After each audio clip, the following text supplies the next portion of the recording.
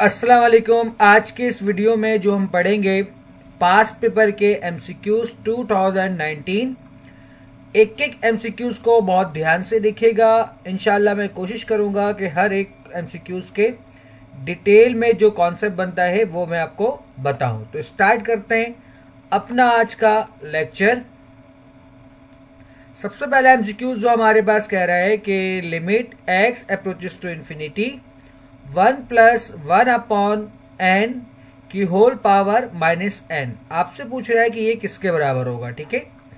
तो सबसे पहले आपने एक फॉर्मूला पढ़ा है कि limit N approaches to infinity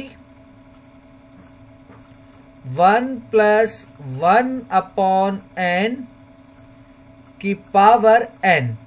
ये आपका बराबर होता है ई के, ठीक है? डन? तो इसका मतलब ये हुआ कि हमें यहाँ पर गिवन है limit N approaches to infinity one plus one upon N की होल पावर माइनस एन तो माइनस एन को अगर मैं लिखना चाहूँ तो मैं इस तरह लिख सकता हूँ कि limit N approaches to infinity one plus one upon N की पावर एन और माइनस साइन को मैं इस ब्रैकेट के ऊपर लिख दू, ठीक है? तो ये चीज़ मैंने आपको ये बताया किसके बराबर होता है ई e के तो ये हो जाएगा ई e की पावर माइनस वन और ई e की पावर माइनस वन का मतलब होता है वन अपॉन ई यानी कि ये इसका क्या होगा? आंसर होगा, ठीक है? अगला एमसीक्यू आपके पास है।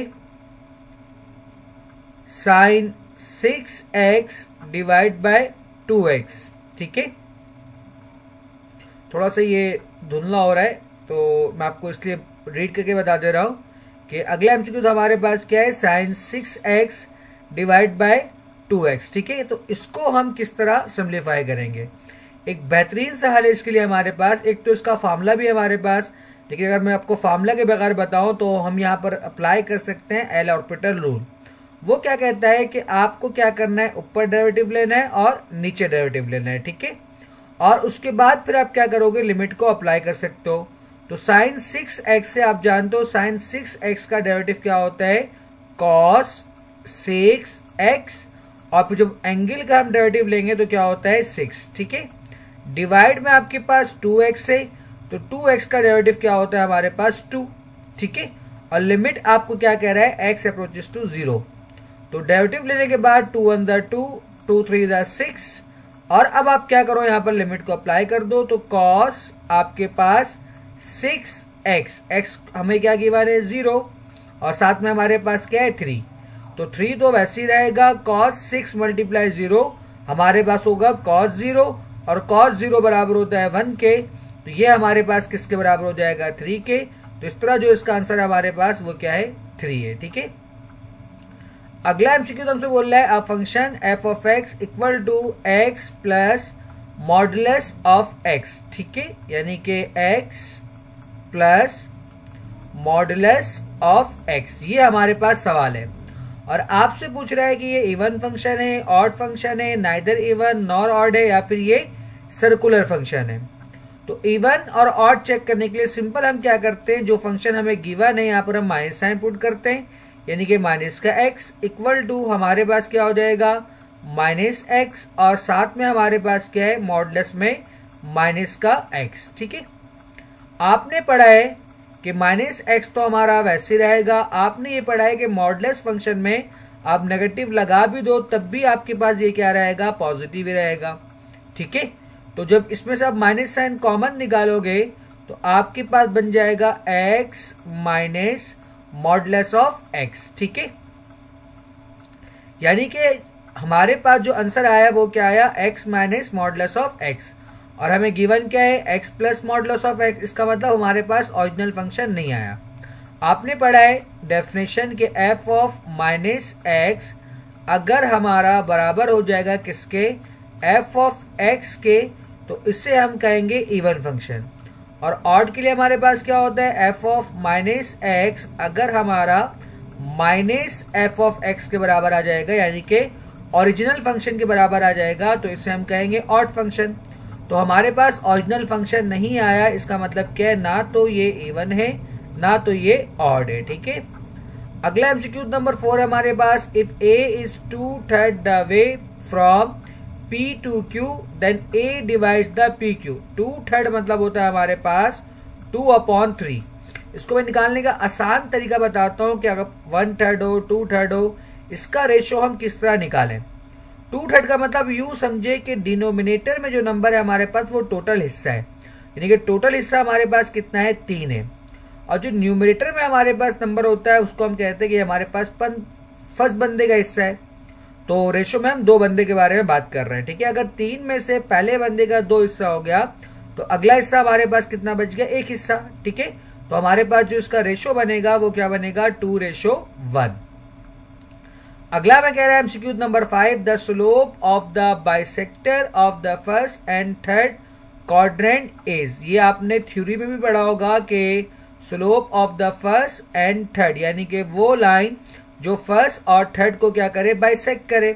तो इसका जो स्लोप आपके पास होता है, आप जानते हो ये अगर बाइसेक्ट करेगा टोटल एंगल कितना होता है? 90 तो 90 का आधा कितना होता है? हमारे पास 45 यानी कि ये हमारे पास बनाएगा 45 डिग्री और आप कैलकुलेटर में निकाल लो कि टेन फोर्टी फाइव आपका किसके बराबर होता है? वन के, ठीक है? अगला एमसीक्यू तो हमें कह रहा है the distance of point two comma three point हमें क्या गिवन है? Two comma three from X axis तो अगर मैं इस पॉइंट को प्लॉट करूँ तो टू कॉमा थ्री सपोज़ करें कि हमारे पास यहाँ पर बन रहा है। तो एक लाइन हम परपेंडिकुलर एक्स एक्सिस पे ड्रॉ करते हैं और दूसरा लाइन परपेंडिकुलर हम क्या करते हैं? वाई एक्सिस पे ड्रॉ करते हैं, ठीक है? तो आपको टू कॉमा थ्री का मतलब है कि एक्स एक्सिस पे जो डिस्टेंस है वो कितना है? टू है। और जो वाई एक्सिस पे डिस्टेंस है वो कितना है? थ्री है। ठीक है? तो आपको कह रहा है कि एक्स एक्सिस से कितना डिस्टेंस होगा? तो एक्स एक्सिस से हमारे पास कितना डिस्टेंस है? आपको दिख रहा है कि यहाँ पर हमारे पास कितना है? थ्री है। तो इसलिए हमारे पास जो इसका आंसर होगा वो कितना होगा? थ्री होगा। अगर सवाल में कहता है वाई एक्सिस से तो वाई एक्सिस से डिस्टेंस हमारा कितना होगा? टू होगा। ठीक है? और एक्स एक्सिस से हमारा कितना हो जाएगा? थ्री अगला कह रहा है आपको the length of the tangent from the point one comma two to the circle X square plus Y square equal to two equal to zero length of tangent निकालने के लिए सिंपल जो सर्कल हमें गिवन होता है उस पर हम स्क्वायर रूट लगाते हैं और इक्वेशन में हम पॉइंट को पुट करते हैं। सबसे पहले एक्स स्क्वायर है और एक्स हमारा किसके बराबर है? वन स्क्वायर के। फिर वाई स्क्वायर है और वाई हमारा किसके बराबर है? टू स्क्वायर के। उसके बाद हमारे पास क्या है? प्लस का टू ठीक है? तो इसको आप सिंप्लीफाई कर लो। तो आपको दिख रहा है कि वन का स्क्वायर वन टू का स्क्वायर फोर और प्लस टू यानी कि फोर प्लस टू हमारे पास कितना हो जाएगा? आ, ये बनेगा हमारे पास सिक्स सॉरी ये माइनस का टू ठीक है? यहाँ पर हमारे पास क्या है? माइनस का टू ठीक है? तो देखें यहाँ बहुत ध्यान से वन का स्क्वायर कितना होता है? वन टू का स्क्वायर कितना होता है? फोर और साथ में हमारे पास क्या है? माइनस टू तो फोर माइनस टू कितना होता है हमारे पास टू और टू प्लस वन कितना होता है थ्री? यानी कि जो इसका आंसर है हमारे पास क्या स्क्वायर ऑफ़ थ्री जब कभी भी आपको लेंथ ऑफ़ टेंजेंट बोलेगा तो जो भी सर्कल आपको गिवन है, उस पर आप स्क्वायर रूट लगा के और आप क्या करोगे? पॉइंट को पुट कर दोगे, ठीक है? अगला MCQ two lines represent by A X square plus two H X Y plus B Y square equal to zero where A H B are not all zero will be orthogonal orthogonal कब होता है? ये हमारे पास combined equation की line है, ठीक है? तो कंबाइंड इक्वेशन में ऑर्थोगोनल का मतलब होता है परपेंडिकुलर और परपेंडिकुलर कब होता है? जो हमारे पास ए प्लस बी मैं लिख भी दे रहा हूँ कि ए प्लस बी हमारा बराबर होता है किसके? ज़ीरो के, ठीक है? तो ये हमारा आंसर है। नेक्स्ट एमसीक्यू हमें कह रहा है the radius of the circle X square plus Y square plus two G X इसमें आपको रेडियस ऑफ़ सर्कल बताना है। तो आप जानते हो कि रेडियस ऑफ़ सर्कल का फार्मूला होता है, आपने फार्मूला पढ़ा होगा कि सी बराबर होता है g square plus f square और हमारे पास क्या होता है? माइनस आर स्क्वायर ठीक है? तो यहाँ से आप आर को अलग कर लो तो आर स्क्वायर आपका बराबर हो जाएगा किसके? G square plus f square और साथ में हमारे पास क्या होगा? ये प्लस का सी उस तरफ़ जाएगा क्या हो जाएगा? माइनस का सी जब स्क्वायर हटाओगे आप तो यहाँ पर क्या लग जाएगा? रूट तो इसका आंसर क्या होगा? G square plus f square minus c square root में। तो आपके पास पहला ऑप्शन क्या है? करेक्ट है। उसके बाद आपको कह रहा है d by d x l n x की पावर ए इसका आपको क्या करना है? डेरिवेटिव लेना है। यानी कि एल एन फ़ंक्शन है। तो d बाय डी एक्स सवाल क्या आपके पास? d by d x l n x की पावर ए आपने बेसिक रूल पढ़ा होगा। कि जब कभी भी एन आता है तो सबसे पहले हम क्या करते हैं? वन अपॉन फ़ंक्शन लिखते हैं, यानी कि हम क्या लिखेंगे? एक्स की पावर ए ठीक है? उसके बाद हम फ़ंक्शन का डेरिवेटिव लेते हैं, यानी कि d by d x x की पावर ए इसका हमें क्या करना है? डेरिवेटिव लेना है, ठीक है? तो बहुत ध्यान से देखें वन अपॉन एक्स की पावर ए और सबसे पहले आप यहाँ पर पावर रूल अप्लाई करोगे। सबसे पहले हम ए लिखेंगे, फिर ए में एक माइनस करेंगे, यानी कि ए माइनस वन ठीक है ना? और एक्स का डेरिवेटिव क्या होता है? आपके पास वन सही है? तो ये हमारे पास क्या बन गया? अच्छा इस टाइप का हमारे पास कोई ऑप्शन नहीं है, इसका मतलब हमें मजीद सिम्प्लीफाई करना होगा, यानी कि वन अपॉन एक्स की power a multiply by a और यहाँ पर आपके पास क्या है? एक्स की पावर ए माइनस वन तो इसको मिल सकता हूँ? एक्स की power a multiply by x की पावर माइनस वन सही है? मैं पावर को क्या कर दिया यहाँ पर? ब्रेक ठीक है? तो इस तरह हमारे पास x की पावर a से x की पावर a क्या हो गया? कैंसिल ऊपर हमारे पास बच गया a. ये x की पावर माइनस वन है। जब उसको आप नीचे लाओगे तो ये बन जाएगा x की पावर वन यानी कि जो इसका सही आंसर है, वो क्या है?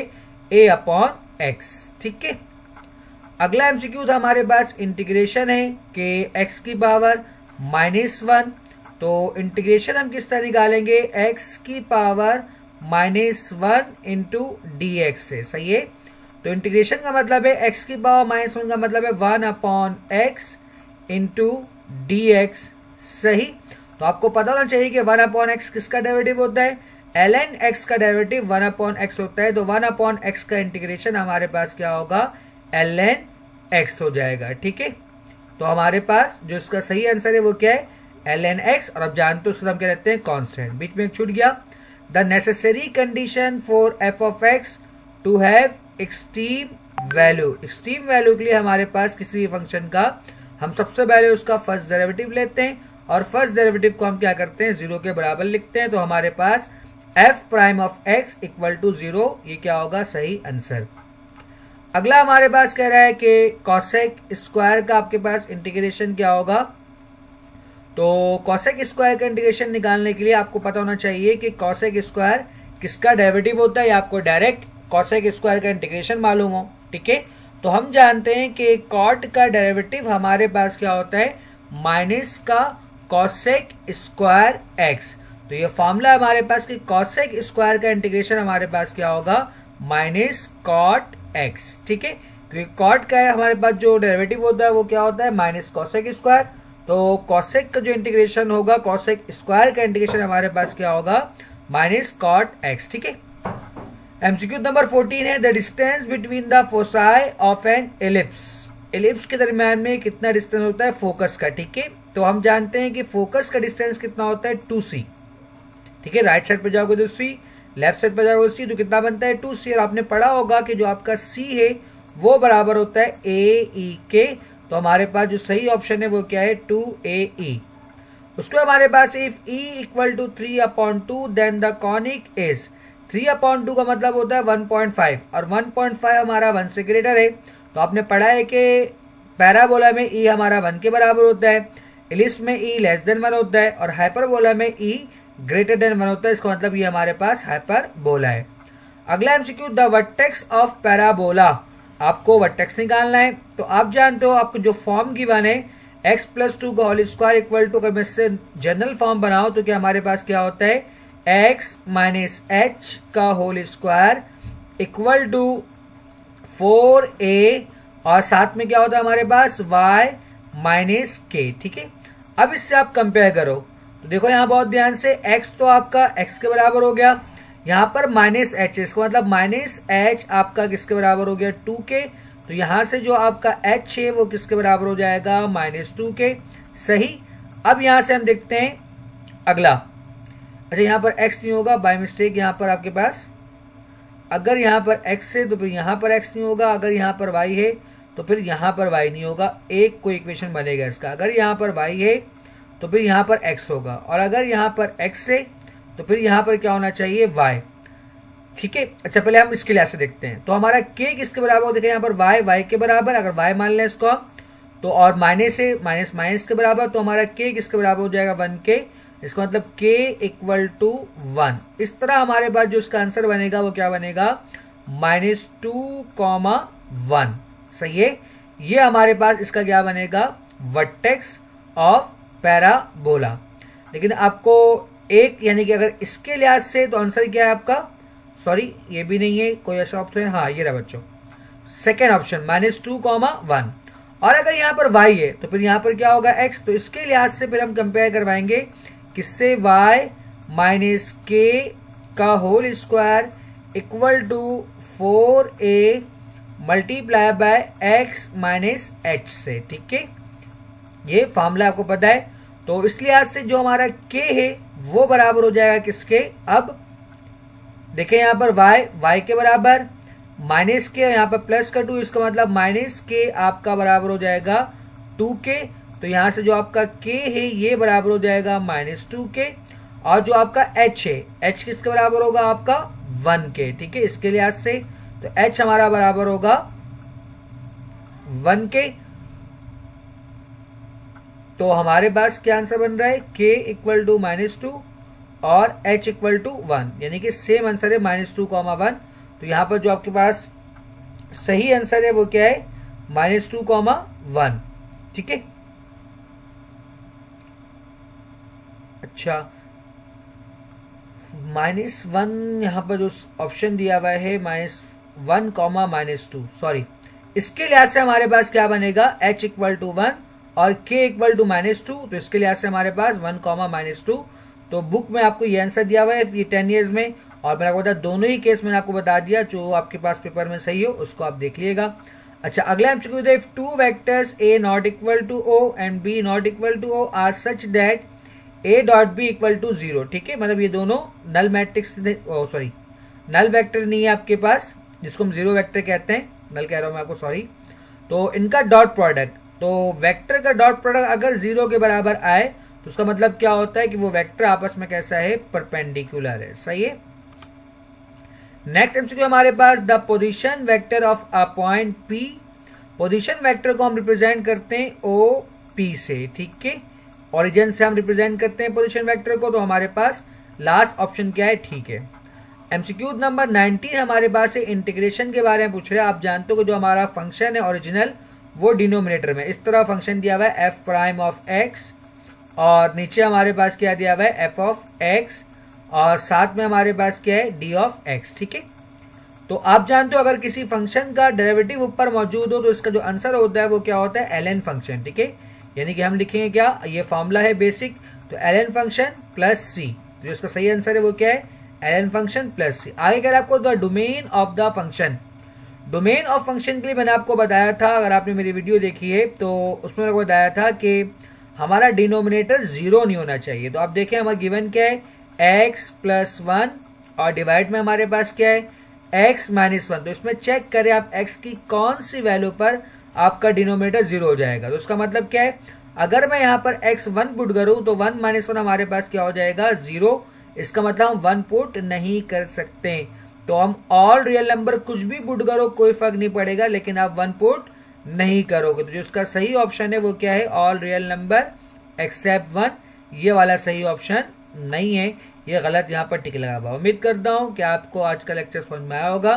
वीडियो देखने के लिए शुक्रिया, अल्लाह हाफिज।